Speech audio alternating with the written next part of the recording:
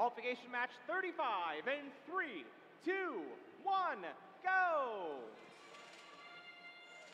Three cones going up for the Blue Alliance. All three robots now moving back toward midfield. It does look like CRS is going to cross completely out of their community, making sure they pick up those mobility points.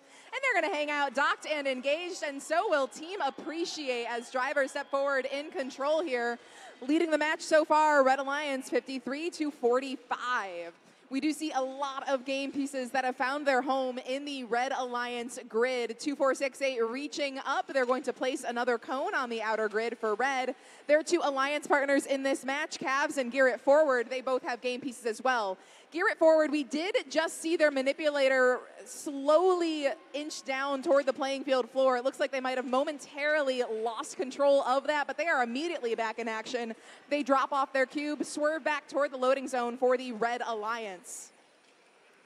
Checking out the status of our links on the screen, both alliances currently with two of them and with that co-op grid in place here. That means only five links required for the sustainability bonus ranking point.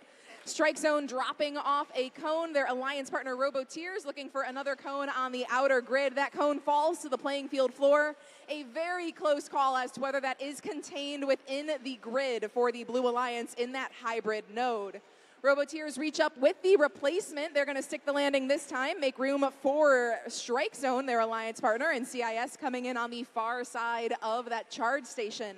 One minute remaining in the match. Red Alliance leads it 112 to 97. Three links on the red side of the field, now three for the blue as well. Red has picked up their fourth link. Team Appreciate with a cube. They're reaching up awfully high. It looks like they're going to opt for the hybrid node on the floor instead.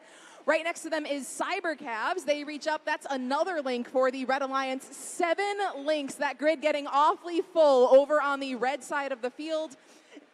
It looks like just three game pieces remaining, 30 seconds left. Team Appreciate, they are preemptively supercharging nodes here for the Red Alliance, but they need one more game piece now. Gear it forward, trying to place a cone on the hybrid node, still one game piece shy for the Red Alliance, 10 seconds remaining.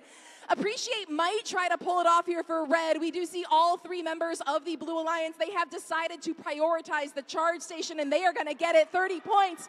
But appreciate in the final moments.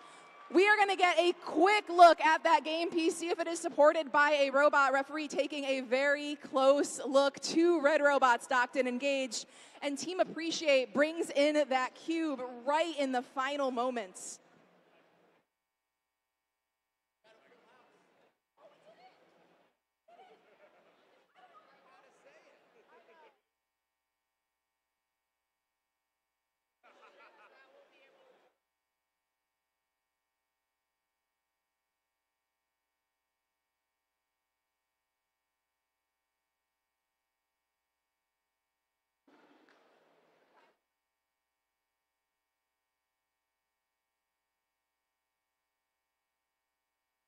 All right, IRI, we are calling the scenario a full house here. Nine links on both sides of the field. Remarkable grid score 195 to 190. Four ranking points for the Red Alliance, two ranking points for the Blue Alliance.